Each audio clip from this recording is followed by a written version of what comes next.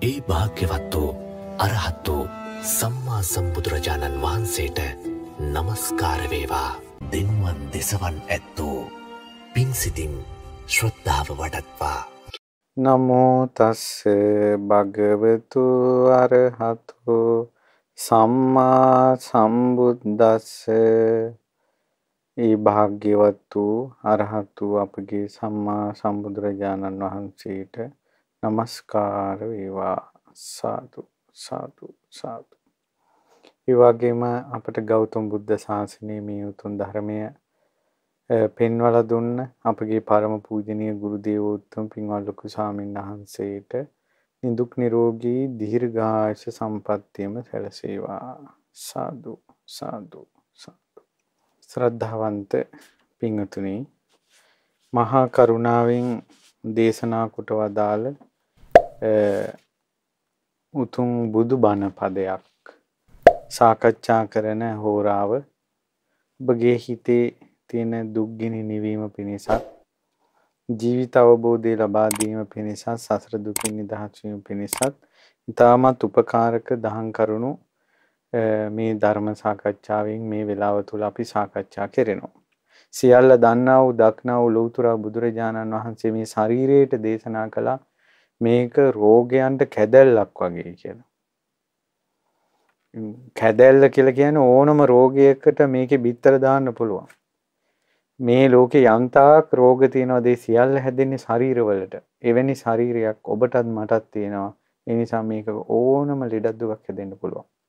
බුදුරජාණන් වහන්සේ වදාලා මේ ලෝකේ කාටවත් අප වෙන්න බෑ කිව්වා. උපන් සත්වයාට ලෙඩ නොවී තියාගන්න පුළුවන් කියලා දෙවියන් මරුන් බමුණු සහිත ලෝකේ කිසිම ශ්‍රමණ බ්‍රාහ්මණයෙකුටවත් අප වෙන්න බෑ කිව්වා මේ මේ ශරීරේ නිරෝගීව තියාගන්න අප වෙන්න බෑ කිව්වා.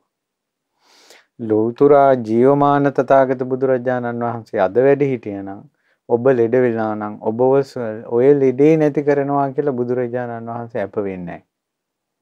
බුදුරජාණන් වහන්සේ ඔබට ජීවිතය ගැන කියලා දෙයි. මේක තමයි ජීවිතය කියලා. මේක තමයි අපේ සංසාරේ යන ගමනේ අපි කරගත්තු දේවල් කියලා. පවුල් පිටින් අබ්බඝාත වෙලා තියෙනවා. අපි දැකලා තියෙනවා එක ඔය අනුරාධපුර පැත්තේ එක පවුලක් තියෙනවා දරුවෝ හතර දෙන්න හතර දරුවෝ හතර දෙනෙක් හෝ පස් දෙනෙක් ඉන්නවා පස් දෙනාම අබ්බඝාතයි. ඉතින් අර වයසක අම්මා අවුරුදු 70 80 අම්මා අර පස් දෙනාටම කවනවා පෝනවා නඩත්තු කරනවා උදැල්ල හැරන් එළියට බහින්නේ වත්තට පිටියට යන්නේ. අර පස් දෙනාගේම රිදි හොදන්නේ නාවන්නේ ඔක්කොම අර අවුරුදු 80 අම්මා. තාත්තත් නැහැ. ඉතින් එහෙම පවුල් තියෙනවනේ ජීවිතවල. මේක තමයි සංසාරේ. ඉතින් බුදුරජාන් වහන්සේ දුක්ඛතං දුරූපේතං මේ විදිහට දුක් විඳින දුකටපත් වුණ මිනිසු දිහා දැක්කම හිතන්න කිව්වා මමත් සංසාරේ ওই විදිහට හිටියා කියලා. ඒ නිසා දැනට ලෙඩක් දුකක් කියලා ලොකුවට පේන්නේ නැති යම් පින්වතුන් ඉන්නවනම් ඒ පින්වතුනොත් ඔය ලෙඩ දුක් තියෙන ලෝ මිනිස්සු දිහා දකිනකොට සහ පවුල් පිටින් ලෙඩ වෙලා ඉන්නවා දකිනකොට හිතන්න ඕන බුද්ධ වචනයට අනුව නම් අපිත් එහෙම පවුල් පිටින් හිටියා කියලා. ඒ නිසයි මේ සංසාරයෙන් නිදහස් වෙන්න කියලා කියන්නේ. අපේ මුළු ශරීරෙම ලෙඩ වුණත් ගිලන් වුණත් මේ හිතේ තියෙන තුරුස්නාව කියන එක මිනිසයාට එනවා. කාමාසාව කියන එක එනවා. ලෝභය කියන එක එනවා. ඉතින් මේ කෙලෙස් වලින් ඉඳි කෙලෙස් ඇතුලේ බුර බුරා නැගෙනවා. ඒ කෙලෙස් තියෙද්දීන් තමයි මේ දුක් විඳින ශරීරයක් ආය ආය උරුම වෙන්නේ. මේ බුදුරජාණන් වහන්සේ මේ ශරීරයට ගණ්ඩ භූතෝ, සල්ල භූතෝ, අග භූතෝ ආදි වශයෙන් මේ ශරීරය ගැන නොයේක ආකාරයෙන් වදාලා. මේ ශරීරය කියන එක සැරව ගිරියක් වගේ කිව්වා. වේදනා දිදී තියෙනවා කොයි පැත්තෙන් පෑරුණත් ලේසැරව ගලනවා. මේක උලක් වගේ කිව්වා වේදනාකාරී. ඊළඟට රෝගයන්ට කැදැල්ලක් වගේ කිව්වා. ඊළඟට මේක පණුවන්ට වාස භවනක් කිව්වා. අනිවාර්යෙන් අවසානයේ මේක ශාරීරි පණුවන්ට කෑමක් විදිහට දෙන්න වෙනවාමයි. මේ ලෝකේ අපි මස් වර්ග මාළු වර්ග ඕනතරම් කාලා කාලා අවසානයේ අපේ ඇඟ දෙන්න වෙන උන්ට. අනිවාර්යෙන් මේක මේ පුච්චුව තලු බවට පත් වෙනවා. ඒතර පොළොවටම මේ සින්න වෙනවා. පොළොවේ වලේ දැම්මොත් පණුවන්ට ආහාර වෙනවමයි. සෝහනේ දැම්මත් ආහාර වෙනවමයි. ඉතින් ඒ නිසා මේ ශරීරයේ හැටි ඉතින් අපිට බරපතල ලෙඩක් දුකක් හැදුනොත් අපිට ඕන වෙලාවක මැරෙන්න පුළුවන් කියන සංඥාව තියාගෙන අකුසල් ඒ මරණ සතිය සිහි කර කර අකුසල් වලින් දුර වෙලා කුසල් උපදවගෙන වාසය කරන්න පුළුවන්.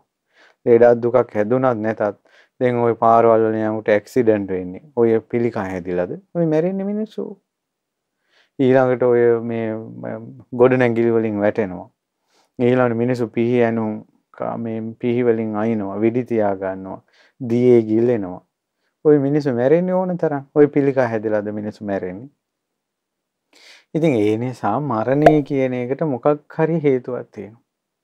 දැන් මට මතකයි ඔය ඔය කොරෝනා කාලේ කොරෝනා වෛරසයේ බරපතලව මුල්ම කාලේ පැන නගිද්දි එක තරුණයෙක් මේ කොරෝනා වෛරසය හැදිලා කියලා ඒක දරා ගන්න බැරුව තට්ටු ගානකින් පැන්නා.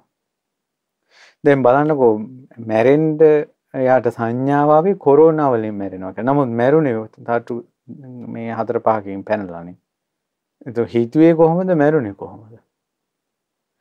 ඒ වගේ අපි හිතන්නේ වෙන දෙයක් වෙන්නේ වෙන දෙයක්. කාට කාට හරි මැරෙන්නේ යම්කිසි ක්‍රමයක් හැදෙනවා. ලෙඩක් වුණා හෝ නැතා හෝ Taman සංසාරෙන් ගෙනාපු ආයුෂක් තියෙනවා. ඒ ආයුෂ තමයි මනුස්ස ලෝකේ අපිට ඉන්න තියෙන්නේ. ඒ නිසා මේ ලෙඩ දුක් කරදර උපන් සත්වයාට උරුමයි. මේ ශරීරයටයි මේ ලෙඩ දුක හැදෙන්නේ කියලා මේ කය ගැන සිහියෙන් කල්පනා කරන්න ඕන. ඊළඟට තව තව සමීප වෙන්න ඕන ධර්මයට. තව තව සමීප වෙන්න ඕන. බුදුරජාන් වහන්සේ දේශනා කළා මේ ශරීරය ගැන කාමය කාමයේ කෙරෙහි දුරු නොකරපු රාගයක් තියෙනවා නම් කියන්නේ කාම ආශාව වැඩි නම් ලෙඩ ඇඳට වැටුණාට පස්සේ එයාගේ වේදනාව, විලාපය, ਸੰతాපය, දුක වැඩි වෙනවා කිව්වා. ඇයි ලෙඩ ඇඳට වැටිලා එක්තැන් වෙලා ඉනකොට කාමයන් ඈත් වෙලා යනවා. එතකොට දුක වැඩි. නිසා කලින්ම කාමයේ ආදීනව සිහි කර කර ඉන්න කිව්වා. එතකොට එක්තැන් වුණත් දුකක් නෑ හිතට. කාමයේ යථා ස්වභාවය යට තේරෙනවා. ඊළඟට මේ රූපේ ආදීනව ගැන නිතර හිතන්න කිව්වා. එතු රූපේ ආදීනව නිතර හිතන්න කිව්වා අසෝ භාවනාව කරන්න කිව්වා. කේසා ලෝමා නකා දන්තා තචු ඒවා සිහි කරලා තියන්න කිව්වා. මොකද ලෙඩ දුක් වේදිලා ඇඟේ ඉන්නකොට මේ ඇඟ පිළිකුල් වෙනවා. ගඳ ගහන්න ගන්නවා. එතකොට මේ ශරීරය ටික ටික දිරන්න ගන්නවා, රැලි වැටෙන්න ගන්නවා. එතකොට අපි දෙතිස් කුණප කොටාසය සිහි කරපුවම මේක අසුබේටයි අයිති කියලා සිහි කරගන්න පුළුවන් කියනවා. ඊළඟට ආහාරයේ පටික්කුල සංඥාව වඩ아가න තියන්න කියනවා. මොකද ලෙඩ ඇඳට වැටුණට පස්සේ කණ්ඩ බොන්න බැරුව යනවා. එතකොට කෑම වලට ආසාව වෙනවා කන්න බෑ. එතකොට එයා ලෙඩ ඇඳේ පෙලෙනවා දුකෙන් පෙලෙනවා. අර එක රෝගියෙක් ලෙඩ ඇඳින්දින් බට ගහලා තියෙද්දින් හිමීට කට හොල්ලා ගන්න විතරයි පුළුවන්කම තියෙන්නේ. එයා ළඟ ඉන්න කෙනාට සංඥා කළා. ඊට පස්සේ එයා කියනවා අනේ මට පොලොස් ගෙනල්ලා දෙන්න මට පොලොස් සැඹුලක් කන්න ඕන. දැන් එයාට බට වලින් සුප් වගේ දේවල් තමයි බඩට යවන්නේ. කටින් පොලොස් ඉල්ලනවා. ඉතින් එදා අවසම එයා මැරිලා. ඉතින් බුදුරජාණන් වහන්සේ වදාලා ආහාරය පටික්කුල සංඥාව වඩන්න කියලා සීකල්පනාව තියෙන කාලේ. මේ ආහාරය අතින් අයිනකොට පිළිකුල් වෙනවා. ඊළඟට මේ කටට හපනකොට කෙලත් එක්ක එකතු වෙලා පිළිකුල් වෙනවා. ආමාශයට ගිහිල්ලා පිතත් එක්ක එකතු වෙලා පිළිකුල් වෙනවා. බඩවැල් අස්සෙන් මේක ගිහිල්ලා අසූචි බවට යනවා. ගඳ ගහන, දිරන පිළිකුල් ස්වභාවයෙන් යුක්තයි මේ ආහාරය කියලා කොයිතරම් රසට ප්‍රණීතව තිබ්බත් කාටත් හොරින් ගිහිල්ලා ගඳ පතුරෝමින් අපිට මේක බැහැර කරන්න වෙනවා වැසිකිලි කරන්න වෙනවා කෑම මේසේ ඕන තරම් අපිට කෑම ටික පේන්න තියන්න පුළුවන්. නමුත් අපි කෑ කාලා අපි පිටිපස්සෙන් යනකොට ඉක්මනට අපි වතුර ප්‍රෙස් කරලා මේ ටොයිලට් එකේ හොදලා දානවා.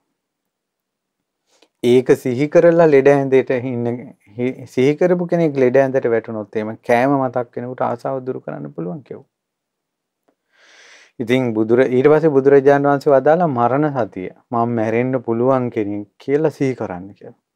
ඕනම වෙලාවක සතෙක් සර්පෙක් නිසා හෝ යුසුම ගන්න බැරුව නිසා හෝ එහෙම නැත්නම් මේ ආහාරයක් දිරවන්න බැරුව නිසා හෝ පාය පැකිල්ල වැටිලා හෝ මොනම හරි ක්‍රමයකින් මැරෙන්න පුළුවන් කියලා.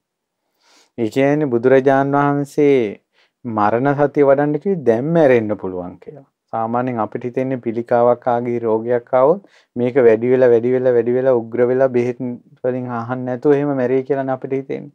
ලෞතර බුදුරජාණන් වහන්සේ වදාළේ දැන් මැරෙන්න පුළුවන් පය පැකිල්ලා වැටිලා. ඒතර මරණ සතියේ නිතර හිතපු කෙනෙක් ලෙඩ ඇඳට වැටුණාට පස්සේ එයාට අර මරණය සතිය වඩලා තියෙන නිසා මම මැරෙන්න පුළුවන් මරණයට කලින් මං කුසල් සිහි කරන්න ඕන අකුසල් බැහැර කරන්න ඕන කියලා අර හිතට එන ආසාවල් අකුසල් දුරු කරලා කරපු පින් කුසල් සිහි කර කර ඉන්නවා. ඒක බැරි වෙච්ච කෙනා සමහර රෝගීන් ඉන්නවා ඊටමත් දරුණුයි. එතකොට කියනවා මේ රෝගේ දරුණු. නමුත් මෙහෙම අහිම අපි මැරෙයිද? අපි මැරෙන්නේ නැහැ එහෙම ලේසියෙන් කියලා මේ මිනිසු කටින්ම කියනවානේ මරණය පෙනිපෙන්නේ. ඒ නිසා මරණය කියන එක අපේ ජීවිතයට එකතු කරගත්තට කමන්නේ ලේඩ වුණත් නැත. ඒ නිසා ඒකට තව තව පින් කරන්න කුසල් කරන්න. ඒතර මේ හැම එකක්ම අපි දාලා යන නිසා දැන් දාණයෙන් අර ගිනි ගන්න ගෙයින් එළියට බඩු බැහැර කරන්න දන් දීලා. උපෝසතේ වැඩි කරන්න. දන් දෙන එක වැඩි කරන්න. සීල් රකින්න එක වැඩි කරන්න. කරුණාව මෛත්‍රිය වැඩි කරන්න. ඉවසන එක වැඩි කරන්න. මේ ශාරීරික ආදීනව හිතන එක වැඩි කරන්න. මේ දේශනා මාලාවේ විටින් විට කාමයේ ආදීනව සීකලා, රූපේ ආදීනව. අන්න ඒ දේශනා නැවත නැවත අහන්න. අසුබ භාවනා ගැන නැවත නැවත අහන්න. නවසීවිතක භාවනා ගැන නැවත නැවත අහන්න. එතකොට මේ රූපේට කාමයට තියෙන ආසාවල් දුරු කරන එක ගැන තියෙන දේශනාවල් නැවත නැවත අහනකොට හිත සංසිඳිලා යනවා. Hinavel මැරුණත් hina වීගෙන මැරෙන්නේ. මේ ජීවිතය ඇත්ත පෙනිපෙනි. මේකයි භාග්‍යතුන් වහන්සේ වදාළ සත්‍යය කියලා. ඒ නිසා බුදුරජාණන් වහන්සේ දේශනා කළ දුක කියන එක ස්පර්ශ වෙනවා බාලයටත් මෝඩයටත් මේ පඬිතයටත් කැන් නුවණ තියෙන පින්වන්ත අයටත් පින නැති මෝඩ අයටත් දෙගොල්ලටම ලිඩෙනවා කිව්වා. ඒ ඉදින් නුවණ නැති මෝඩ මිනිස්සු ගොඩාක් දුක් විඳිනවා ඉන්නවා කිව්වා. නමුත් ලෙඩ දුක් කියන නුවණ තියෙන කට්ටිය මේක ඉවසාගෙන ජීවිත යථාර්ථය මේකයි කියලා අවබෝධ කරනවා කිව්වා. ඒ නිසා ලෙඩ දුක් කරදර දුක පීඩාව කියන එක කාටත් එනවා. ඉතින් අපිට බුදුරජාණන් වහන්සේගේ බුදුබණ පදයකින් හිත සනසාගෙන ඉන්න පුළුවන් වුණොත් අපි නුවණැත්තෙක් වෙනවා. ඉතින් ඒ කරුණු කාරණා සිහිපත් කරනවා. විශේෂයෙන් ඒ කරුණු ටික සිහිපත් කළේ අද ධර්ම දාණය දුන්න පින්වතුන් මුල් කරගෙන. මේ නිසා ඔයාලා නිසා ලක්ෂ සංඛ්‍යාත පිරිසකට හිත හදාගන්න බණපදයක් ඇහෙන එක ගැන සන්තෝෂයටපත් වෙන්න. ඔන්න වෙසක් මාසයේ අපි මේ ධර්ම සාකච්ඡාව කරගෙන යන්නේ කතා බහ. ඒකේ අද මේ අපි දැන් මාසයේ අවසානයේට කිට්ටු වෙලා අද අපි විශේෂ කාරණාවක් කතා කරනවා සමාලෝචනයක් වගේ එකක්. ඒකට අපිට උපමා කරගන්නවා උදාහරණයට ගන්නවා ප්‍රස්තුත කරගන්නවා අපි රට්ටපාල සූත්‍රේ. රට්ටපාල සූත්‍රය ගැන මං හිතනවා කවුරුත් අහලා ඇති. මේ ශ්‍රද්ධාවෙන් පැවිදි වූ භික්ෂූන් අතර අග්‍රයි රට්ටපාල තෙරුන් වහන්සේ. මේ මහරහතන් වහන්සේ නම. මජ්ක්‍ධිම නිකායේ මේ රට්ටපාල සූත්‍රය තියෙන්නේ මජ්ක්‍ධිම නිකාය දෙකේ. භාග්‍යවත් බුදුරජාණන් වහන්සේ කුරු ජනපදයේ චාරිකාවේ වඩිද්දී තුල්ල කොට්ටිත කියන ගමට වැඩියා. මේ කුරු ජනපදයේ තියෙන දිල්ලිය අද දිල්ලිය පැත්ත. ඉතින් ඒ ගමේ පැතිරිලා ගියා. ශ්‍රමණ ශාක්‍ය පුත්‍ර මේ ශාක්‍ය පුත්‍ර ශ්‍රමණයන් වහන්සේ ශාක්‍ය කුලයෙන් නික්මිලා පැවිදි වූ ශ්‍රමණයන් වහන්සේ ගෞතම ශ්‍රමණයන් වහන්සේ වැඩියා. උන්වහන්සේ අප්‍රමාණ ගුණ තියෙන නවාරාධි ගුණයෙන් බබලන රහතන් වහන්සේ නමක්. උන්වහන්සේ දැක්කත් මහා ලාභයක් කියලා මිනිස්සු ඒ පැත්තට ගියා. ඒතර මේ රට්ටපාල කියන කුමාරයා 80 කෝටියක් ධනෙ තියෙන ඒ ප්‍රදේශයේ හිටපු මහා සිටු පවුලේ පුත්‍රයෙක්. එයත් සරුවාභරණයෙන් සැරසිලා අර මිනිසුත් එක්ක ගියා මේ අර දෙතිස් මහා පුරුෂ ලක්ෂණයෙන් බබලන උතුම් ගුණ තියෙන රජකම අතහැරලා පැවිදි වෙච්ච මහා ශ්‍රමණයන් වහන්සේ බලන්න ඕනේ කියලා. උන්වහන්සේ මිහිරි වූ විදිහට කතා කරනවා කියලා. අනිත් අයගේ හිතේ දුක දුරු වෙනවා කියලා. යමු අපි බලන්න කියලා දැන් මෙයත් යාළුවෝ පිරිසත් එක්ක ගියා. එහෙම ගිහිල්ලා ඒ පිරිස ඉතින් මිනිස්සු වන්දිනවා ඒවා අඩු වෙනවා සමහර අය කියනවා අපි අහවල් අපි මේ ගමේ මන් තමයි ප්‍රධානියා. සමහර අය කියනවා අපි තමයි මෙහෙමයි කියලා විස්තර කියලා සමහර අය වාඩි වෙනවා භාග්‍යතුන් සියලු දෙනා වාඩි වෙනකල් හිටියා. බුදුරජාණන් වහන්සේ ධර්මයක් දේශනා කළා. ඒ ධර්මය අහද්දී රට්ටපාල කුමාරයාට හිතුණ අර ප්‍රධාන සිටු පුත්‍රයාට බුදුරජාණන් වහන්සේ මේ බවත් ගෞතම මහා තථාගත ශ්‍රමණයන් වහන්සේ දේශනා කරන ධර්මයට අනුව නම් මේ ගිහි ගෙදර ඉඳලා මේ මේක කරන්න බෑ. පිරිසිදු නිවන් මාර්ගයේ පිරිසිදු බ්‍රහ්මචාරි බව ගිහි ජීවිතේ ඉඳලා මේක පුරන්න බෑ. මේ මට මහාන වෙන්න නැත්තම් මට මේ කියන ධර්මය අවබෝධ කරන්න පුළුවන් කියලා හිතනවා. ඒතර බුදුරජාන් වහන්සේ එදා දේශනා කරපු ධර්මයේ මොකද්ද කියලා මේ සූත්‍රයේ අවසානයේ තියෙනවා. මේ සූත්‍රයේ අවසානයේ අහනවා රජ කෙනෙක් ඔබ මහණෝනේ මොකක් අහලාද කියලා. එතකොට අහපු එදා බුදුරජාණන් වහන්සේ ධර්ම දේශනාවට මාතෘකා ගාථා පද හතරකින් ධර්ම දේශනා කරලා තියෙනවා. ඒ පද හතරේ බණ ටික තමයි තේරුනේ මෙයාලට. ඊට පස්සේ මේ මිනිස්සු ධර්ම දේශනාව අවසන් වෙලා බොහොම සන්තෝෂයට ප්‍රීතියටපත් වෙලා බුදුරජාණන් වහන්සේට අප්‍රමාණ ගරු බුහුමන් කළා වැඳලා පිටත් වුණා. ඉතින් ගොඩක් අය මඟපල් ලබන්න ඇති. රට්ටපාල කුමාරයා බුදුරජාණන් වහන්සේ මිනිස් ඔක්කොම යන කලින් ඉඳලා බුදුරජාණන් වහන්සේ ළඟට ගිහිල්ලා කිව්වා ස්වාමීනි භාග්‍යතුන් වහන්සේ භාග්‍යතුන් වහන්සේ දේශනා කරපු ධර්මය මට තේරෙන විදිහට නම් මේ ගිහි ජීවිතේ ඉඳලා මට මේක පුරන්න බෑ. අනේ මාව මහාන කරගන්න, පැවිදි කරගන්න. ඒතර බුදුරජාණන් වහන්සේ ඇහුවා මේ අම්මා තාත්තා කැමතිද ඔයා මහාන වෙන එකට? ඊට පස්සේ කිව්වා අම්මා තාත්තට කිව්වේ නෑ. තථාගතයන් වහන්සේ දෙමව්පියන්ගේ මේ අනුමැතිය නැතුව දරුවෙක් මහාන කරන්නේ නැහැ කිව්වා. ඒතර මේ වෙනකොට මේ රාහුල් කුමාරයා මහාන කළා එතනින් මේ නීතිය පැනවුනේ. තථාගතයන් වහන්සේ දෙමව්පියන්ගේ අනුමැතියක් නැතුව පැවිදි කරන්නේ. දැක්කද අත්ති මාතා අත්ති පිතා අම්මා කියන්නේ විශේෂයි තාත්තා කියන්නේ විශේෂයි කියන එක තේරෙනවද? ලෞතර බුදුරජා මේ 80 මහා ශ්‍රාවකයන් අතර කෙනෙක් මේ අසූ මහා ශ්‍රාවකයන් අතර ගිහි සද්ධාවෙන් පැවිදි වූ අය අතර අග්‍ර පැවිද්ද ලබන්ඩ කල්ප ලක්ෂයක් පෙරුම් පුරාගෙන පදුමුත්‍ර බුදුරජාණන් වහන්සේගෙන් විවරණ ලබාගෙන එන කෙනාගෙමුත් අහනවා අම්මා කැමතිද තාත්තා කැමතිද මේ බුද්ධ ශාසනය අම්මාට දෙන තැන තාත්තාට දෙන තැන අති විශේෂ තැන. ඒ මව්වරු පියවරු ශ්‍රේෂ්ඨයි. ඉතින් බුදුරජාණන් වහන්සේ අහනවා අම්මා තාත්තා කැමතිද? ඊට පස්සේ නෑ ස්වාමීනි කියනවා. එහෙනම් මහාන කරන්න විදිහක් නෑ. මම එහෙනම් අම්මයි තාත්තෙන් අවසර අරන් ඉන්නම් කියලා ගෙදර ගිහිල්ලා අම්මලා තාත්තලාට කිව්වා. මට මේ ජීවිතය ගැන ධර්මයට අනුව තේරෙන විදිහට නම් මට මහාන වෙන්න ඕන. මේ මේ මේක අවබෝධ කරන්න. එනිසා අම්මලා තාත්තලා කිව්වා මොනවද මේ කියන්නේ?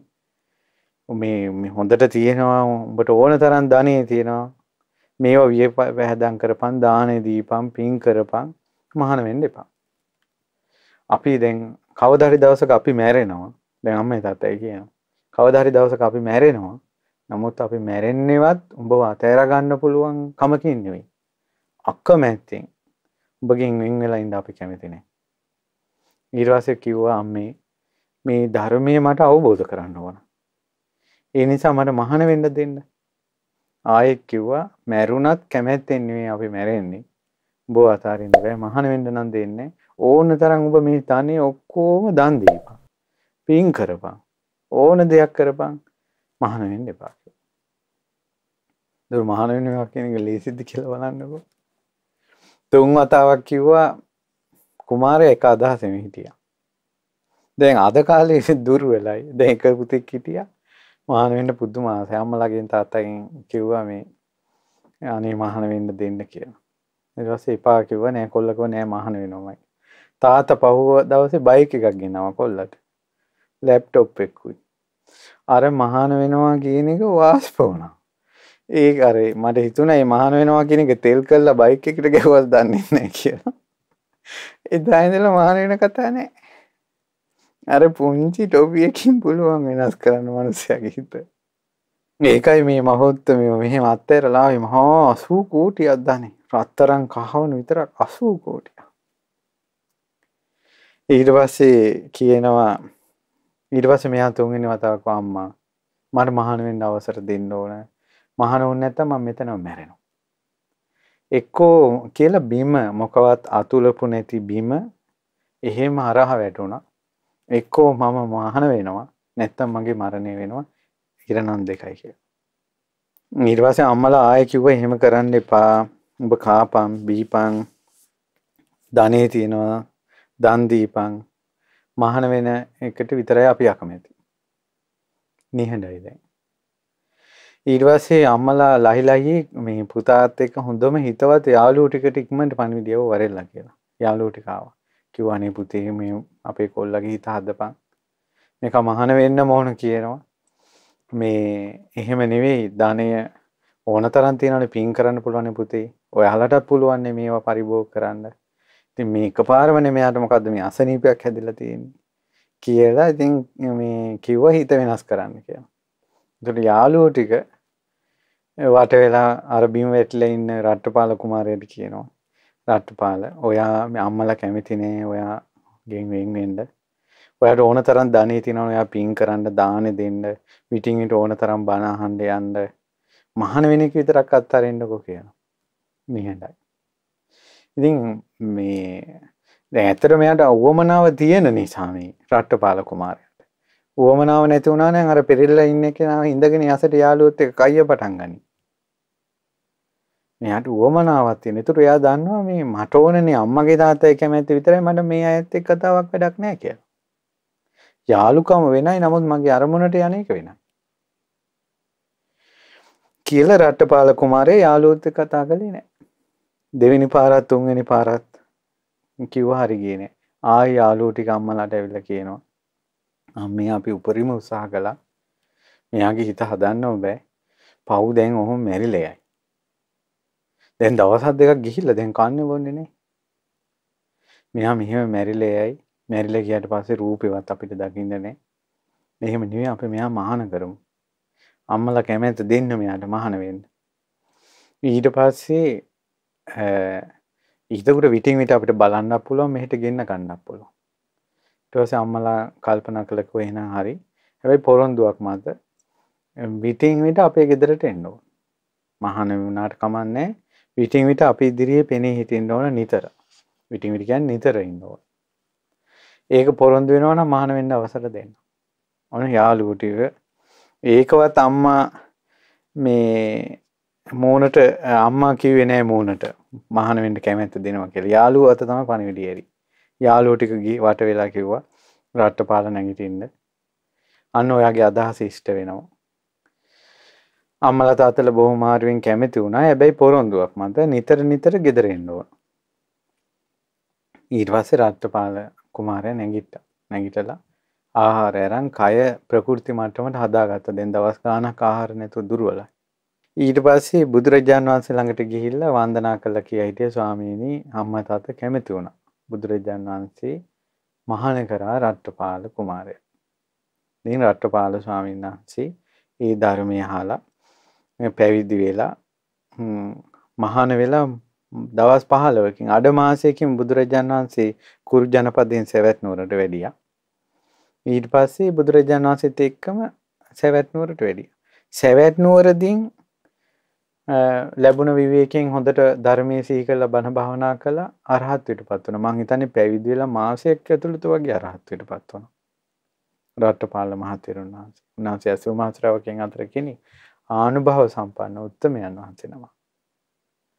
ඉතින් පැවිදි කිස ඉක්මනට සඵල කළා.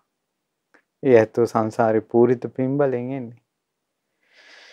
ඊට පස්සේ රට්ටපාල ස්වාමීන් වහන්සේ දවසක් කල්පනා කළා දැන් අරහත්දට පත් වෙලා නින්නේ අම්මලාට පොරොන්දුවක් වුණානේ අර එනවා කියලා ඒ නිසා භාග්‍යතුන් වහන්සේට වන්දනා කළා කිය හිටියේ ස්වාමීනි මන්ට අවසර දෙනවා නම් මං අම්මා තාත්තා බලන්න යනවා ඊට පස්සේ බුදුරජාණන් වහන්සේ දිවසින් බැලුවා කියනවා රට්ටපාල ගිහි ගෙදර යන්න භව්‍යයිද අභව්‍යයිද කියලා රහතන් වහන්සේ නමක් නිසා ආපහු ගිහි ජීවිතයට වැටෙනවා කියන එක අභව්‍යයි. ඒ නිසා බුදුරජාණන් වහන්සේ රට්ටපාල ඒකට ඔබ කැමති විදිහට ඒ කටයුත්ත කරගන්න කියලා අවසර දුන්නා. එහෙනම් බලන්න බුදු ඇසින් දකිනෝ කාමීට මාර්ගඵල නොලබපු භික්ෂුවක් නිතර නිතර ගිහි ගෙදරත් එක්ක ඇලුම් කම්පෑම නිතර නිතර ගිහි ගෙවල් එක්ක මුසු වීම සමහට ඔහුට කසාවත අහිම කරන බව. නිසා බුදුරජාණන් වහන්සේ දිවසින් බැලුව මේක භව්‍යයිද අභව්‍යයිද කියලා. ඉතින් බුදුරජාණන් වහන්සේට වන්දනා කරලා තුල්ල කොට්ටිත ගමට වැඩම කළා. වැඩම කරලා ගෙදරට දානයට වැඩිය පහුවද උදේ. එද නෑ ඇවිල්ල නැවතුනේ කෝරවිය රජුගේ මිගාචීර කියන උද්‍යානේ තුර උදේ පාන්දර පාත්තරය අරගෙන තමන්ගේ ගෙදෙට පින්ඩ පාති ගියා. අර එතකොට දොර ළඟ රට්ටපාල ස්වාමීන් තාත්තා ඉන්නවා. සේවකයෙක් කොණ්ඩේ පීරනවා. අර ගේට්ටුව පැද්දෙන් ස්වාමීන් වහන්සේ වඩිනවා. එතකොට කෙසර ඇවුල් පිටින් සර්වාභරණයෙන් සැරසිලානේ මහාන වෙන්න ගියේ. දැන් ඉන්නේ කෙසර ඇවුල් බාලා කසවතක් දාගෙන දැකලවත් නැහැනේ. පුතා කොන්්ඩි කැපුවට පස්සේ රැවුල කැපුවට පස්සේ සිවුරත් දාගත්තට පස්සේ පුතා කොහොමද කියලා දන්නේ. ඈතින් වෙනකොට මෙයා මේ කොන්්ඩ පීරණ එක නවත්තලකව අන්න නවත්තපල්ලා උන්වහන්සේ නමක් එනවා ද්‍රමණයෝ ඔවුන් තමයි අපේ කොල්ලව නාස්ති කළේ. අපේ කොල්ල උදුරගෙන ගියේ. අපිට කොල්ලෙක් නැති කළේ. මගේ දරුවා නැති කළේ. ඔය සිවුරු පොරව ගත්තායි එනිසා නතර කරපන්. එන්න එපා මෙහෙන්ට. ඊට පස්සේ ඔන්න දැන් එනකොටම කෑ ගැහුවා. දැන් මේ පුතා ගෙදරට එද්දී. ඒ වෙලාවේ ඒ ගෙදරින් දානය ලැබුණේත් නැහැ. උඹට දානය දෙන්නේ නැහැ මේ පැත්තේ කියලා කිව්වෙත් නැහැ. හැබැයි හොඳට බැනුම් ටිකක් ඇහුණා. ඊට රට්ටපාල ස්වාමීන් වහන්සේ එතනින් හැරිලා එහා පැත්තේ වීදියෙන් යනකොට ඒ ගෙදර ඊ රෑ ඒ මිනිස්සු කාලා තියෙන පිට්ටු. පිට්ටු කැනේ කාලෙ හැටියට ප්‍රනීත කෑම. ඒ පිට්ටු ඉතුරු වෙච්ච මේ පිට්ටු සීතල වෙලා ටිකක් මේ පිල්නු වෙන්නත් වගේ ඇවිල්ලා ඒක වත්තෙන් එහා පැත්තට විසික කරන්න යනකොට අර පාර ළඟින් මේ අර ස්වාමීන් වහන්සේ පාත්‍රය අරන් යනවා. ඒතර ස්වාමීන් වහන්සේ දැක්ක මේ විසික කරන්න අරන් යනවා. ඊට පස්සේ ඇහුවා නැගණිය ඔය විසික කරන්නද? කිව්වා එහෙමයි ශ්‍රමණේ. ඔක විසික කරනවා නම් මගේ පාත්‍රයට දාන්න කිව්වා. අර සීතල වෙච්ච පිරිනුවෙන්ට ආසන්න ඒ පිටු රට්ටපාල සන්නස්ගේ පාත්තරයට පිදුව. පුදනකොට කටහඬෙනුයි මෝනෙනුයි අතේ පයි ඉරියව්වලිනුයි. ඒ දාසේ දැනගත් අපේ රට්ටපාල ස්වාමීන් වහන්සේමින් කියලා. එක්ක පිම්මට දුවගෙන ගියා ගේ ඇතුළට. ගිහිල්ලා අම්මට කිව්වා ආර්යාවිනි දන්නවද අපේ රට්ටපාල තෙරුන් වහන්සේ වැඩියා කියලා. අම්මාගේ ඇස් උඩ ගියා. ගිහිල්ලා කිව්වා උඹ කියන කතාව ඇත්තනම් අද ඉඳලා උඹ වැඩ කාර්යයක් කරන්නේ උඹ දුවෙක් විදිහට තියාගන්න. ඊට පස්සේ තාත්තට දුවගෙන ගිහිල්ලා කිව්වා අන්න රට්ටපාල තිරුණාන්සේ. අනේ කොහෙද කොහෙද අන්න අතනින් වඩිනවා.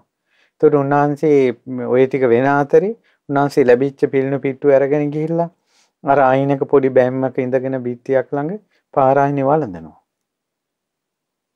ඉතින් තාත්තා දුවලා එනකොට මේ මොකද්ද මේ අපේ ස්වාමීන් වහන්සේ කරන්නේ පිළිණු පිට්ටුවක්නේ ඔය වළඳන්නේ. ඇත්තටම පිළිණු වෙලා ඒක.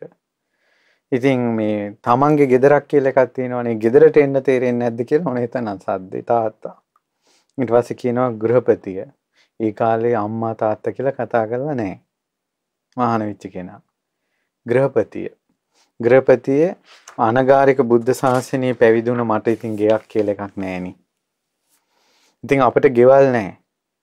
ඉතින් මම ඔයාගේ ගෙදරට පැමිණුණා. පැමිණුණාට පස්සේ මට දානේ ලැබුණෙත් නෑ. දානේ දෙන්න බෑ කිව්වෙත් නෑ. හැබැයි හොඳට බැනුම් ටිකක් නම් මං අහගත්තා කිව්වා.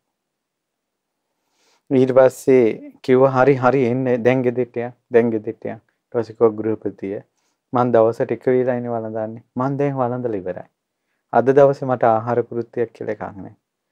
හරි එහෙනම් හෙට දවසේ දානෙට වඩිනවද? එහෙනම් හා කියලා කිව්වා. නිහඬ වුණා. පිළිගත්තා.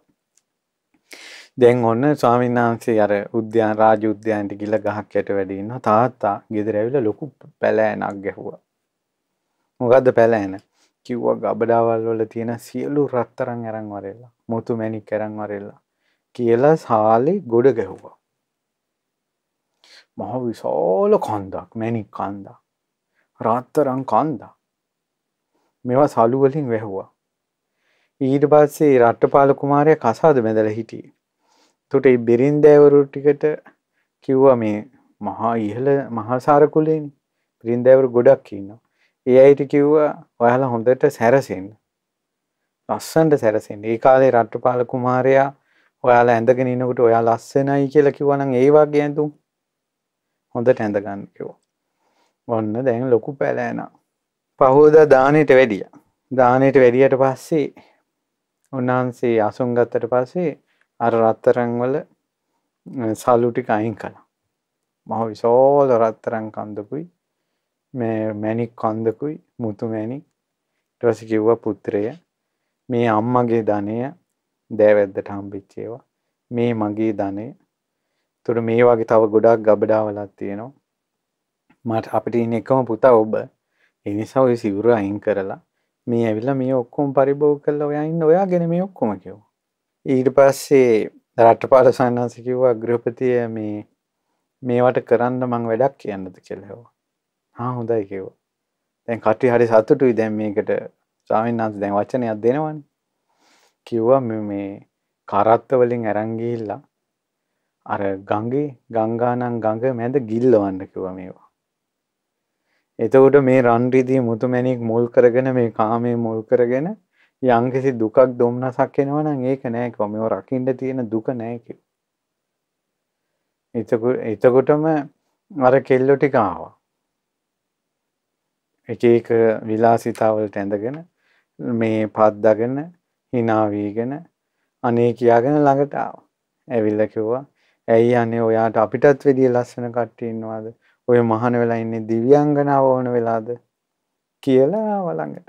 එනකොට රට්ටපල්ල සාන්නාංශ කිව්වා නැගෙනවරුනි. මම මහාන වෙලා ඉන්නේ ගෑනු වෙනුවෙන් නෙවෙයි. දිව්‍යාංගනාව වෙනුවෙන් නෙවෙයි.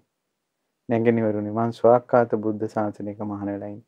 ඒ කාලේ බැඳපු කෙනාට නැගණිය කියන්නේ අද කියනවානේ බැඳපුයි නංගි අයියා කියලා කතා වෙන ඒ කාලේ නෑ.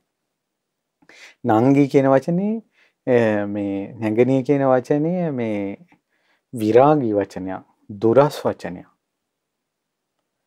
ඒ ඒ වචනේ පාවිච්චි කරන්නේ නැහැ බිරිඳකට. එතකොට අර කට්ටියට ඉච්චර ඒ දුර විශාල දුරස් බවක් ඇති වෙනවා. එතකොට නැගණිය කිව්ව වචනේ අහපු ගමන් මේ කෙල්ලෝ ටික ඔක්කොම සිහි නැතුව වැටුණා කියනවා.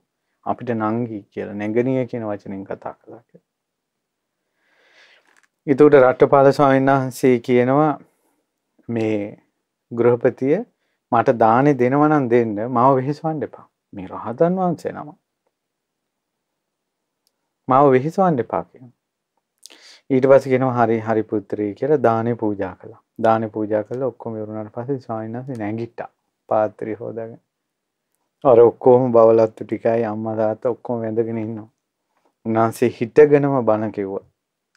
උන්වහන්සේ කියනවා පස්ස චිත්ත කතම් බිම්බං අරුකායන් සමුස්සිතං ආතුරම් බහු සංකප්පං යස්ස නත්ති දුහන්ටිති හොඳ හැටියට ඇටනහර ගලපල ලස්සනට තිබෙන මේ ශරීරයේ ඇත්ත දිහා බලන්න. මේ ශරීරයේ ලෙඩ වෙලා යන දෙයක්. ස්ථීර පැවැත්මක් නැති දෙයක්. නමුත් අඥාන ජනයා බහුලව හිතන්නේ මේ ශරීරය ගැනමයි. එන ශරීරය ගැන වැඩිපුර හිතනවා කියන්නේ අඥානකම කියනවා. පස්ස චිත්ත කතං රූපං මනිනා කුණ්ඩලේනච අට්ටිතචේන ඕනද්දං සා වත්තේහි සෝබති මුතුමැණික් ආභරණ වලින් සරසලා තිබ්බට මේ ශරීරේ සත්‍ය తත්වේ තමයි බලන්න ඕන. හැමකින් ඔතා තිබෙන ඇට ගොඩ ලස්සනට පේන්නේ ඇඳුම නිසා. හැමකින් ඔතලා ඇට ගොඩක් මේ තියෙන්නේ. ඒක ලස්සනට පේන්නේ මේ ඇඳුම නිසා. ඊට පස්සේ අලත්තක කතා පාදා මුකන් චුන්නක මක්කිතං අලම් බාලස්ස මෝහාය නෝච පාර ගවීසෙනෝ දෙපාවල පාට ගාලා තියෙනවා. සුවඳ විට හපලා මුඛයේ සුවඳ කරලා තියෙනවා. මේ ඔක්කොම ගැලපෙන්නේ මෝඩයන්ට විතරයි. නිවන සොයා යන කෙනෙකුට ඒක ගැලපෙන්නේ කොහොමද පුතා මහණ වුණාට පස්සේ ගෙදර ඇවිල්ලා කියන පළවෙනි බණ? මේ ඒකාන්තයෙන්ම රහතන් වහන්සේලා රහතන් වහන්සේලා. අට්ඨපාද කතා කේසා නෙත්තා අංජන මක්කිතා අලම් බාලස්ස මෝහාය නෝච පාර ගවීසෙනෝ කොණ්ඩ මෝස්තර දමලා ඇස් පාට කරලා තිබුණට මේ ඔක්කොම ගැලපෙන්නේ මෝඩයන්ගේ මෝඩකමට විතරයි. නිවන සොයා යන කෙනෙකුට ඕව වැඩක් නැහැ. අංජනීව නවා චිත්තා පූති කායෝ අලංකතෝ.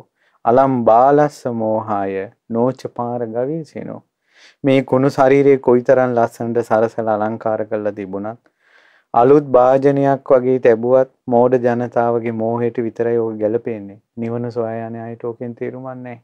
ඇයි පින්වතුනි මේක සමහර දේශනා කරන්න ඇත්තේ අර කෙල්ලෝ ටික වට වෙලා මෙහෙම රන් රිදි මුතු මැණික් වැට කරගෙන කාමයෙන් අල්ලගන්න හැදුවනේ මේ රාතන් වහන්සේ නම.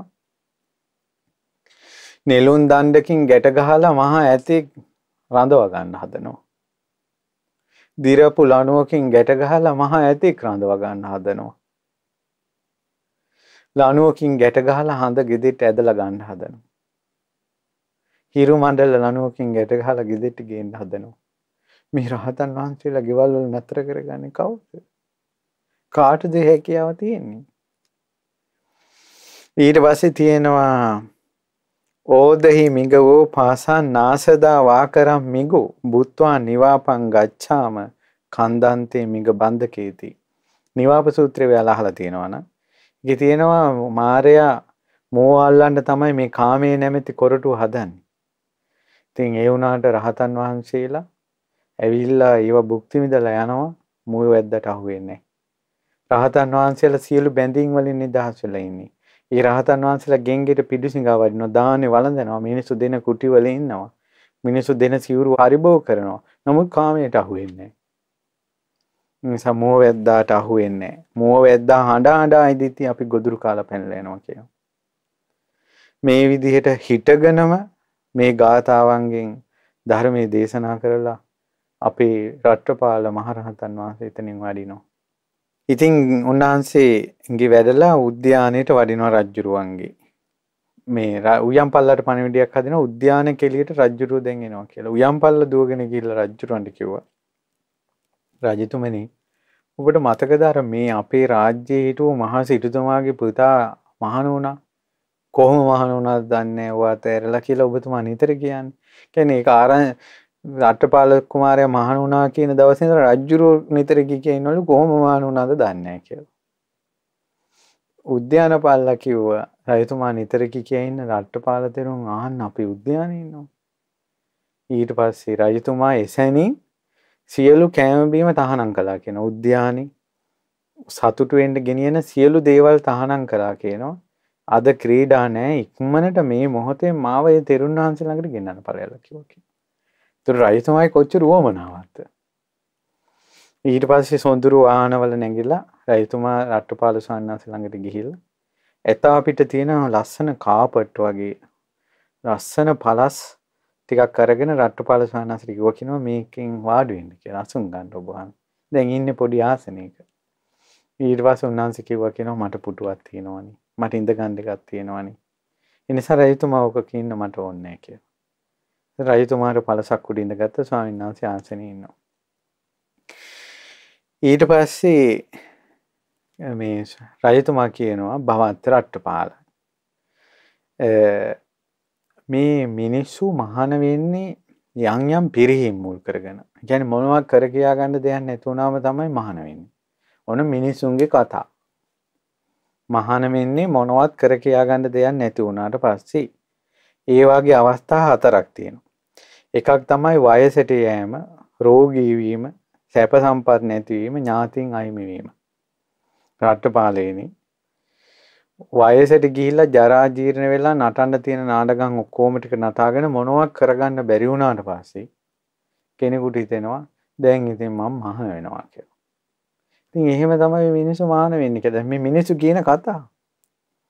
ඉතින් මේ බවත් රට්ටපාල තරුණයිනේ. කළු කෙස් තියෙනවානේ. ජීවිතේ පළමු වයසේනේ ඉන්නේ. ඉතින් ඔබතුමා කොහොමද ඔහොම මහාන වුනේ? වයසට ගිහිල්ලත් නැතුව. ඊට පස්සේ මිනිස්සු රෝගාබාධවලට ලක් වෙනවා. ලෙඩ දුක් වලින් පීඩිත වෙලා පීඩිත වෙලා සනීප කරගන්නත් බෑ හැමදාමත් ලෙඩ වෙනවා. ඒ නිසා මීට වැඩි හොඳයි ගිහලා ඔහෙ මහාන වෙලා ඉන්නවා. කියලා මිනිස්සු මහාන වෙනවා. මේ බවත් රට්ටපාලට එහෙම නෑනේ මේ අසනීපයක්. හොඳට කන බොන දේවල් දිරවනවා කිසිම ලෙඩක් නෑ. ඇත්තටම කොහොමද ඔය මහාන උනේ? මොන මොකක්ද දැනෙලාද? මොනවද තේරිලාද? කියන්නේ මේක තමයි පොදු මෙරජ්ජුරවන්න. දැන් අද කාලේ කියන්නේ මේ හොඳට ඉගෙන ගත්ත කෙනෙක් මහාන වෙලා තියෙන්නේ. කොහොම මහාන වුණාද දන්නේ නැහැ. කියලා ඒ කියන්නේ ඉගෙන ගත්ත අයට මහාන වෙන්න හොඳ නැද්ද? ඔයෝ තරුණ කාලේ මහාන වෙලා තියෙන්නේ කොහොම මහාන වුණාද දන්නේ නැහැ. ඒකට තරුණ කාලේ මහාන වෙන්න හොඳ නැද්ද? දැන් මේ ඒ කාලේ තිබ්බේවා. ඒ කාලේ තිබ්බේවා තමයි වයසට ගිහිල්ලා ලෙඩ වෙලා ඒව බැරි වුණාට පස්සේ මහාන වෙන්න යනවා කියලා. තව කාරණාවක් භෝග සම්පත්. ඒ කියන්නේ තියෙන භවභෝග ඔක්කොම නැසෙනවා. ව්‍යාපාර කඩා කප්පල් වෙනවා, සල්ලි භාගෙ නැති වෙනවා. අතේ සතේ නැති වුණාට පස්සේ තීරණයක් ගන්නවා මීට වැඩි හොඳයි ගිහිල්ලා මහාන වුණා නම් කියලා. ඊට පස්සේ කියනවා මේ බවත් රට්ටපාලට එහෙම ධනෙන් අඩුවක් නැහැනේ. මහා ධන දහන්නේ තියෙන සිටුපවුලක පුතෙක් නේ කියනවා. ඇත්තටම කොහොමද මොනවද දැකලා මොනවද තේරුම් අරන් මොන බණක් අහලාද මහාන වුනේ කියලා අහනවා. ඊට පස්සේ අහනවා බවත් රට්ටපාල ඥාති පිරිහීමකුත් නැහෙනි. සමහර අයට හිතවතුන් ඥාතින් යාළුවෝ ඔක්කොම ඉඳලා පස්සේ ඥාතිනුත් නැති වෙලා හිතවතුත් නැති වෙලා අඹ දරුවොත් දාලා ගිහිලා සමාජයෙන් කොන් වෙලා තනි වුණාට පස්සේ එයා තීරණයක් ගන්නවා මම මහාන වෙනවා කියලා. ඉතින් මේ බවත් රට්ටපාලට මේ මේ තුල්ල කොට්ටිත ගමේ කොයිතරම් යාළුවෝ ඉන්නවද කොයිතරම් ඥාතින් ඉන්නවද අඹ දරුවෝ අඹෝ ඒ වගේම දෙමව්පිය ඔක්කොම ඔබතුමාට ආදරේ තියෙද්දි කොහොමද මහාන වුනේ කියලා. ඉතින් ඔන්න රට්ටපාල ස්වාමීන් ඇත්තටම මේ රට්ටපාල ස්වාමීන්සේ ධර්ම කතිකයි. උන්වහන්සේ මං හිතන්නේ චතුපටි සම්බිදාලාභේ රහතන් වහන්සේ නම. උන්වහන්සේට වහා ධර්මයේ වැටහෙනවා. ඊට පස්සේ උන්වහන්සේ දේශනා කළා මං යම් ධර්ම මාතෘකාවන් දැනගත්තාද දැකගත්තාද අසාගත්තාද ගිහි ගෙහින් නික්ම අනගාരിക සසුනේ පැවිදි වුණාද දැනගත යුතු සියල්ල දැනගත් දැකගත යුතු සියල්ල දැකගත් ඒ භාග්‍යවත් අරහත් සම්මා සම්බුදුරජාණන් වහන්සේ ධර්ම මාතෘකා හතරක් වදාරලා තියෙනවා. කියනවා සියල්ල දන්නා වූ දක්නා වූ බුදුරජාණන් වහන්සේ දහම් මාතෘකා හතරකින් මට බණ කිව්වා.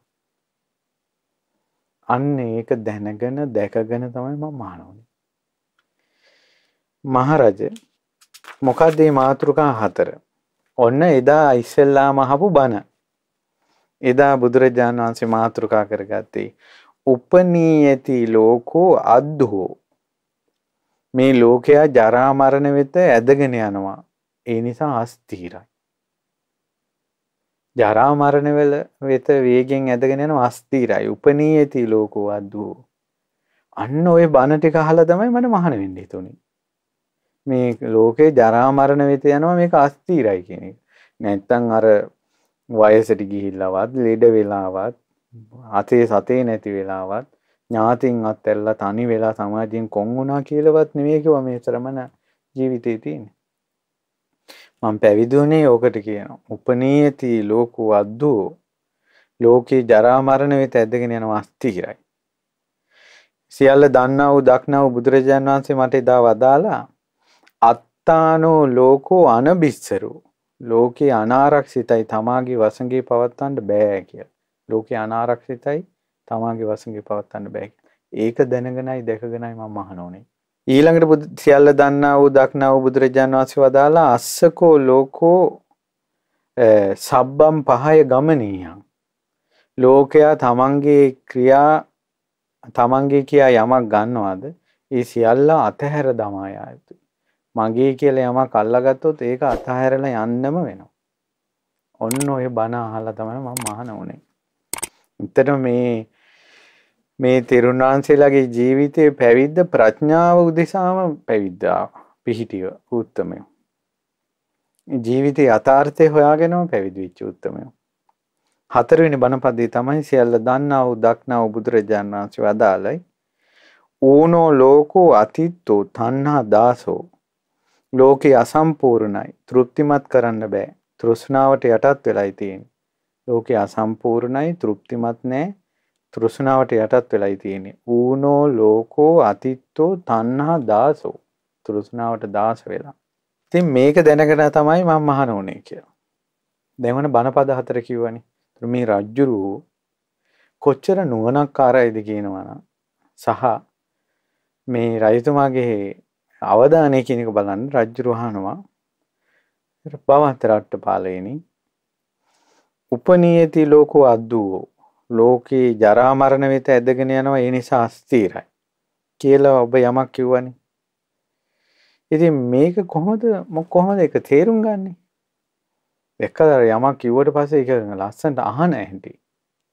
අද එහෙම දහම් කරුණු අහන බලන්න මොනවා හරි ওই දහම් වැඩසටහනක මේ රට්ටපාල සූත්‍රයේ ධර්මයේ දේශනා කළා මම ප්‍රශ්න අහන්න දුන්නා කියලා ඔයාලට. ඔයාලා ඊළඟට අහන්නේ ගේ ඇතුලේ පහන පත්තු කළාට කමක් නැද්ද? ගෙදර මියගිය ඥාතීන්ට පින් දුන්නට කමක් නැද්ද? ඊට පස්සේ කරණීය මෙත්ත සූත්‍රයේ ගේ ඇතුලේ කිව්වට කමක් නැද්ද? මස් කන එක පවුද? පහන තියන්න ඕනේ කොයි පැත්තටද? ඊළඟට ඔය වගේ තමයි අහන්නේ අර දේශනා කරපු සූත්‍රයට අහලකින්වත් යන්නේ දැක්කද ඒ කාලේ අද කාලේ වෙනස ඕක නිසා තමයි ඉස්සර අපේ දහම් වැඩසටහන් වලදී හැමදාම ධර්ම දේශනාවක් කළා ප්‍රශ්න අහන්න වෙනම පැයක් දුන්නා.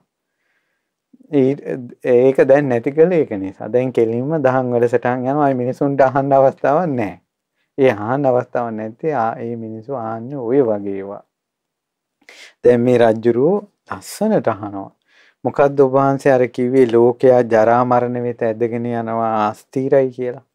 රාට්ටපාල සන්නස කියනවා රජතුමනි ඔබතුමාට මතකද ඔබතුමාගේ විසි වයස අවුරුදු විස්ස විසි පහ ඔය වගේ කාලේ ඔබතුමා ඇත් සිල්ප අස්ව සිල්ප රථ සිල්ප දනු සිල්ප කඩු සිල්ප ඔය වගේ සිල්පවල ඔබතුමා දක්ෂයි නේද ඊළඟට ආත්පාවලින් කරන වැඩ කටයුතු වලට ඔබතුමා දක්ෂයි නේද යුද්ධ වලට දක්ෂයි නේද කියන මේ රට්ටපාලේනි මං අවුරුදු 20 25 ඔයාට කොයිතරම් දක්ෂයිද කියනවා නම් මට හිතුනේ ඉරිදියක් තියෙනවා මට කියලා.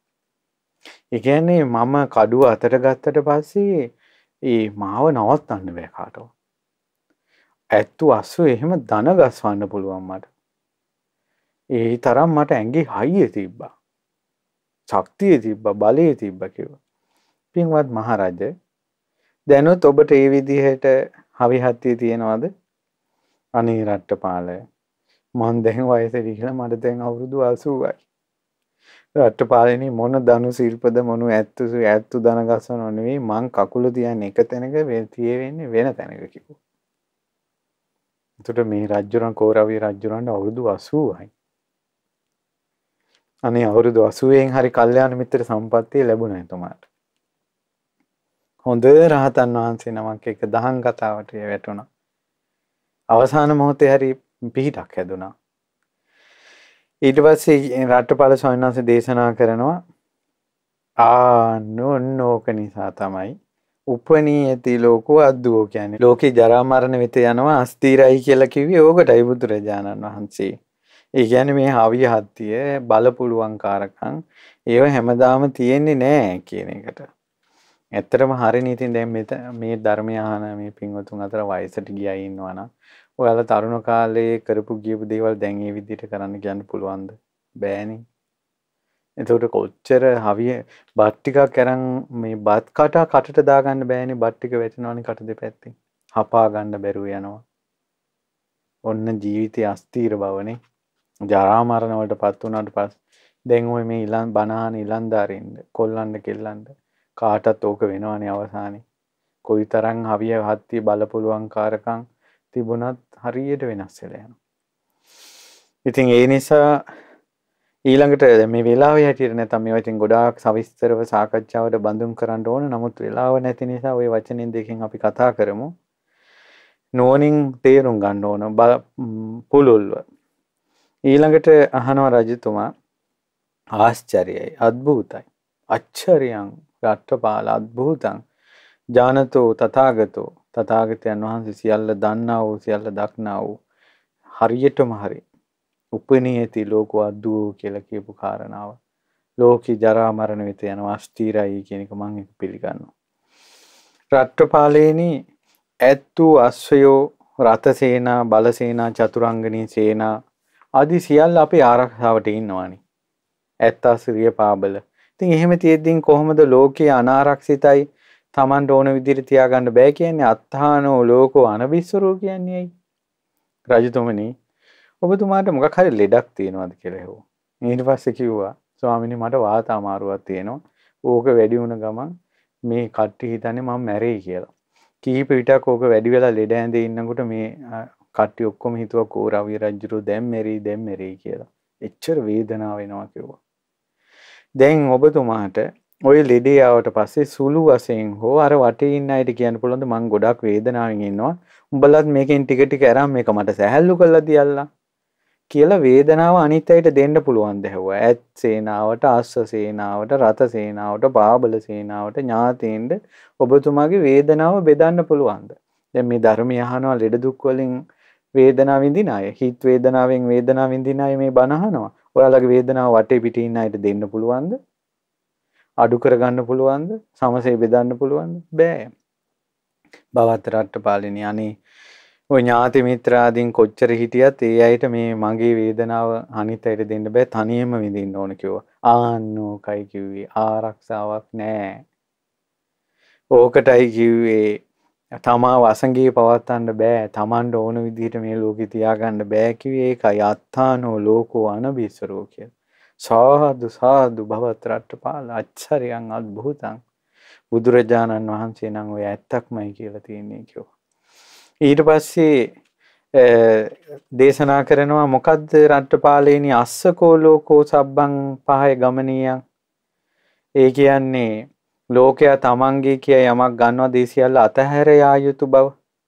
බවත් රට්ටපාල අපිට ගොඩක් දනදහන්නේ තියෙනවානේ. අපි ගොඩක් පෝසත් අයන. ඊට පස්සකෙන රජතුමනි ඔබතුමා මොකක්ද හිතන්න? ඔබ පංචකාමයන්ගේ මේවා පිනවා පිනවා ඉන්නවා. පිරිවරාගෙන ඉන්නවා. යම් දවස ගොබතුමා මැරෙනවා. මැරෙනකුටත් ඔය විදියට මොයි සැප සම්පත් ඊළඟ ලෝකට ගෙනියන්න පුළුවන්ද කෙලෙව බෑරට්ට පාලනම හැම එකක් මත් ඇරල යන්න වෙනවා. ආන්න ඒකයි කිව්වේ අස්සකෝ ලෝකෝ සබ්බම් පහය ගමනියක්. ලෝකයා තමන්ගේ කියා යමක් ගන්නවා දී සියල්ල අත්හැර යා යුතු බව. සාදු සාදු රට්ටපාලේනි ඒක නම් ඇත්තක්මයි කියලා කිව්වා. ඊට පස්සේ කියනවා ඌනෝ ලෝකෝ අතිත්තෝ තණ්හා දාසෝ ලෝකේ අසම්පූර්ණයි තෘප්තිමත් කරන්න බෑ කියලා මොකද්ද රට්ටපාලේනි කියන්නේ රජතුමනි ඔබතුමා දැන් ධන දහන්නේන් යුක්තව මහරජෙක් විදිහට ඉන්නව නේද ඔව් මේ රට්ටපාලේනි මං මහරජෙක් ඔබතුමාට කෙනෙක් ඇවිල්ලා කියනවා නැගෙනහිර දිසාවේ රාජ්‍යයක් තියෙනවා සුළු උත්සාහයකින් ගන්න පුළුවන් කියලා. මොකද කරන්නේ? එහෙම වුණොත් මං යුද්ධෙට ගිහලා එක් ගන්නවා කියලා. බටහිරින් ඇවිල්ලා ඒත් යනවා. උතුරින් නැගෙනහිරින් ඒත් යනවා. ඔබට කියනවා මේ සාගරයෙන් එහා පැත්තේ ජනපදයක් තියෙනවා ඒක සුළු උත්සාහයෙන් ගන්න පුළුවන් කියලා. මොකද කරන්නේ? ඒත් ගිහිල්ලා ඒකත් අල්ලනවා. දැන් ඇහුවා. දැන් ඇති කියලා හිතෙනවද ඇහුවා. ඇති කියලා හිතෙන්නේ නැහැ කිව්වා. ආන්න ඕකට තමයි ඌනෝ ලෝකෝ අතිත්තෝ තණ්හා දාසෝ ලෝකේ අසම්පූර්ණයි තෘප්තිමත් කරන්න බෑ තෘෂ්ණාවට යටත් වෙලා ඉන්නේ. එපා කියලා හිතෙන්නේ තව තව ඕන. ඊට පස්සේ සාදු සාදු කියලා අනුමෝදන් වුණා රජ්ජුරුවෝ. ඒ අනුමෝදන් වුණාට පස්සේ ස්වාමීන් වහන්සේ ගාථාවලින් ධර්මයේ වදාලා. දැන් මේ ගාථා පාලියෙන් කියන්න වෙලාව නැති නිසා මම සිංහලෙන් මේ ගාථාවල අර්ථ කියන්නම්. රටපාල ස්වාමීන් වහන්සේ දේශනා කරනවා මම දැකලා තියෙනවා ලෝකේ ඉන්න ධනවත්ම මිනිස්සු. ඔවුන්ට ධනෙ ලැබුණාම ඒකට රැවටෙනවා. කාටවත් දෙන්නේ නැහැ. ලෝභකමින් ධනෙ එකතු කරලා තව තවත් ධනෙම ප්‍රාර්ථනා කරනවා. රජ කෙනෙක් සාගරය පවුර කරගෙන මුළු ලෝකෙම ජයගත්තත් ඒකෙන් තෘප්තියක් නෑ. එයාට කැමැති සාගරෙන් එහා පැත්තේ තියෙන ඒවත් ගන්න එයා කැමැති. ඒ රජුන් අනික් බොහෝ මිනිස්සුත් තෘෂ්ණාව දුරු නොකරමයි මරණයටපත් වෙන්නේ. ජීවිතේ අතහරින්නේ ඌනත්වයටපත් වෙලා. මේ කාම ලෝකේ තෘප්තියකටපත් වීමක් නන්නේ. කවුරු හරි මැරුණට පස්සේ නෑදෑයෝ එකතු වෙලා කිහිවලු කඩාගෙන හඬා වැළපෙනවා. අනේ අපේ මේ ඥාතියා අමරණීය වේවා කියලා. ඊට පස්සේ රෙද්දකින් ඔතලා දර සෑයට දාලා ගිනි තියනවා. හැම සම්පතක්ම අත්ඇරලා එම මැරෙන කෙනා අන්තිමේදී එක එක අන්තිමේදී එකම එක වස්ත්‍රයකින් ඔතලා උල් පාරවලින් ඇන ඇන දර ටිකේ පුච්චලා දානවා. ඒ මැරුණ කෙනාගේ ආරක්ෂාවට නෑ දෑයෝ යාළු මිත්‍රයෝ කවුරුත් නෑ. මුළු ජීවිත කාලෙම පින්වතුනි කොච්චර ඇඳුම් ඇන්දත් අවසාන එක රෙද්දක් ඔතාගෙන මිනිය ගිහින් දාන්නේ. ඊට පස්සේ දේශනා කරනවා එයාගේ වස්තුව උරුමකාරයෝ ඇවිල්ලා අරගෙන යනවා. කර්මාන රූපෝ එයා එයාගේ ගමන ගියා. නමුත් එයාගේ පස්සෙන් යන්න අඹදරුවන් මිල මුදල් රට රාජ්‍ය මොකවත් නැහැ. සල්ලි තිබුණා කියලා දීර්ඝායුෂ ලැබෙන්නේ නැහැ. න දීගමායුන් ලැබෙහිත ධනේත. ධනේ තිබ්බා කියලා දීර්ඝායුෂ ලැබෙන්නේ නැහැ. න චාපි චිත්තේන ජරං විහන්ති. වස්තුව තිබුණා කියලා නාකි වෙලා නාකි නොවේ ඉඳත් බෑ. අන්න ඒ නිසයි ප්‍රඥාවන්ත මුනිවරු කියන්නේ මේ ජීවිතේ තියන්නේ තාම සුළු කාලයයි කියලා මුනිවරු කියන්නේ ඒ නිසා. සදාකාලික නෑ කියලා කියනවා. වෙනස් වෙන ස්වභාවයට අයිති කියලා කියනවා ජීවිතේ. දුප්පත් පෝසත් කාටත් අරමුණු වලින් දුක් පහස එනවා, ලෙඩ දුක් හැදෙනවා, කරදර එනවා. ඊළඟට නමුත් මෝඩ ජනයා මේකෙන් විඳවනවා.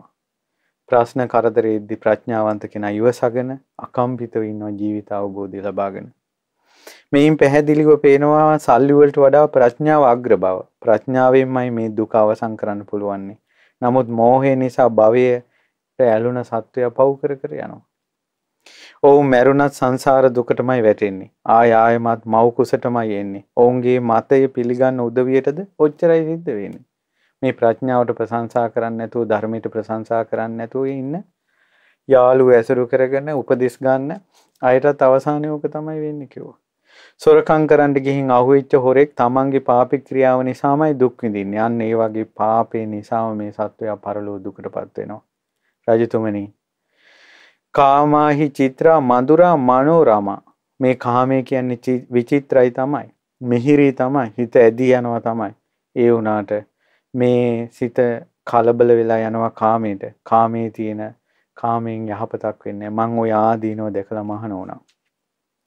පුංචි අයත් වැඩි හිටියොත් කවුරුත් මැරිලා යන්නේ ගස්වල ගිඩි වැටෙනවා වගේ. පින්වත් රජතුමනි, ඒවා දැකලයි මම මහණුනේ. මේ ශ්‍රමණ ජීවිතේ කිසි කරදරයක් නැහැ. මේ ශ්‍රමණ ජීවිතාමත් උතුම් කියලා රට්ටපාල සන්නස් වදා. ඒ නිසා මේ රහතන් වහන්සේලාගේ ජීවිතවලට පහදින්න. ඔබගේ ජීවිතේ දුක් දුරු වේවා කියලා සිත ප්‍රාර්ථනා කරනවා. ඔය වනාහි රට්ටපාල සූත්‍රයයි. ඉතින් වෙලාව තියෙන හැටියට අපි සාකච්ඡා කළේ ඉතින් ඒ නිසා කුරුවිට එක්නැලි ගොඩ ලිපිනේ පදිංචි පින්වත් LP Renuka Damayanthi WG Lakshman Sugathapala WG Dahamsa ලෝචනී ඒ පවුලේ සියලු දෙනාට ඉතින් මේ රැස් වුණ පින් අපි අනුමෝදන් කරනවා සියලු දෙවියෝ මේ පින් අනුමෝදන් වෙලා මේ පින්වතුන් ආරක්ෂා කරත්වා.